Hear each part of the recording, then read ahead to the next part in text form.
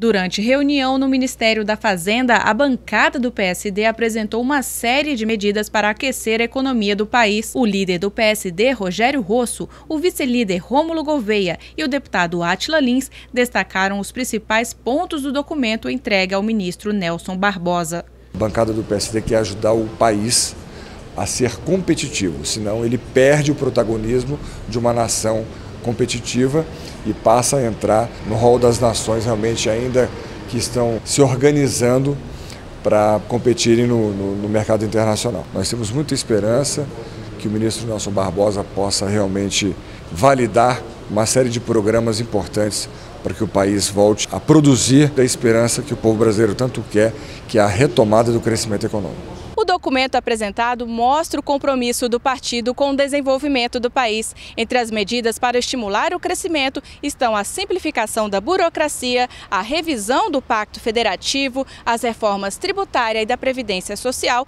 além de outras medidas em debate pela bancada na Câmara dos Deputados. Ficou, portanto, bastante claro para o ministro que nós do PSD defendemos a desoneração, porque com isso nós geramos mais emprego. A questão do, da pequenas e médias empresas, que também teriam que ser incentivadas para que houvesse mais competitividade. Isso é uma demonstração muito forte de que o partido está preocupado com o país e quer dar a sua participação e a sua colaboração para que o Brasil reencontre o caminho do desenvolvimento e do crescimento. Podemos inserir também a preocupação com o Nordeste, com a questão da agricultura, do endividamento agrícola, das taxas de juros. O documento como um todo, ele é muito importante e de uma contribuição extraordinária ao desenvolvimento do país. O presidente nacional do PSD, Guilherme Campos, também participou do encontro. O momento nosso é um momento difícil, todos nós sabemos, não precisamos repetir, mas o PSD, que fez parte do processo